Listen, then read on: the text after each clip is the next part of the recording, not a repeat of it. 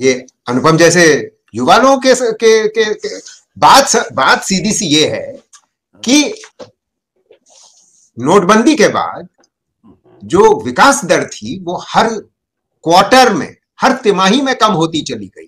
तो इसमें क्या ताजुब की बात है कि आप उसी सेक्टर पे आघात करते हैं पहले नोटबंदी द्वारा फिर जीएसटी द्वारा जहाँ पर नौकरियाँ गैर गैर कृषि क्षेत्र में उत्पन्न होती हैं तो इसमें क्या ताज्जुब की बात है कि बेरोजगारी बढ़ेगी?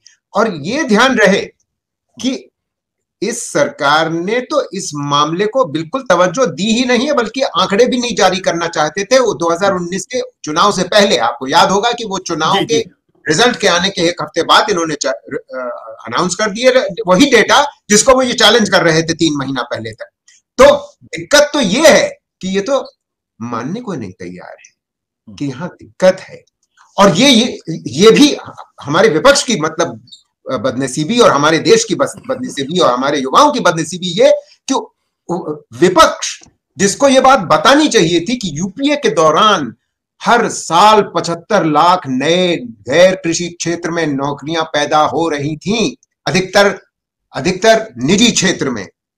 75 लाख तब और तेरह के बाद आप ये पाते हैं कि वो संख्या गिर जाती है केवल उनतीस लाख हो जाती है जिससे और millions of young are joining the labour force every year नौकरी ढूंढ रहे हैं।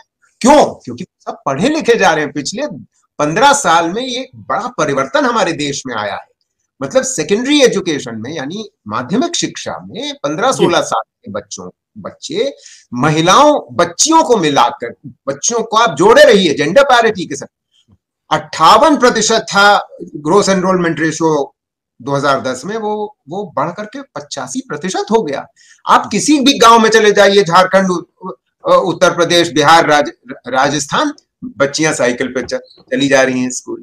इतना इतनी खुशी होती है इतना आनंद आता है कि वो बच्चियाँ जा रही हैं मगर उनकी उम्मीदों पे पानी फेरने के लिए जिम्मेदार कौन है हम सब जानते